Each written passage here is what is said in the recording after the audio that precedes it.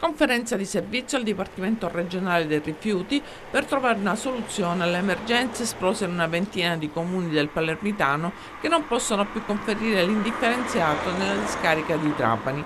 Intanto Totò Cuffaro, commissario regionale della DC, torna a ribadire l'importanza di realizzare i termovalorizzatori.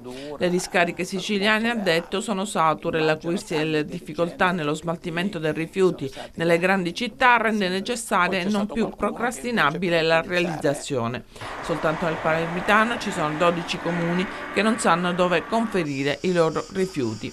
La costruzione dei termovalorizzatori è stato uno dei punti del programma elettorale del presidente Schifani, scelta che ci trova concordi e che viene condivisa dalla coalizione ed è proprio dalla condivisione del progetto che si deve partire per procedere quanto prima all'iter che porterà alla costruzione dei termovalorizzatori ma sulla realizzazione degli impianti il neoassessore all'energia Roberto Di Mauro in un'intervista rilasciata al giornale di Sicilia aveva dichiarato che i ritardi nella pubblicazione dei bandi potrebbero essere legati alla mancanza di un business plan. Di Mauro ha però aggiunto che questi impianti hanno dei costi di gestione altissimi e questi costi andrebbero sostenuti dalle SRR e dunque dai comuni con la tariffa di smaltimento.